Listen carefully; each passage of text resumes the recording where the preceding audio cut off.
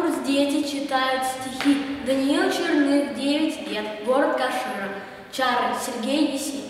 В цветах любви весна царевна по роще косы расплела, И с хором птичьего молебна поют ей гимн колокола.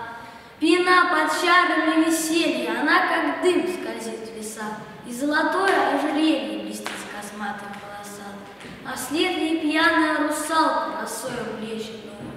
И я, как страстная фиалка, хочу любить, любить.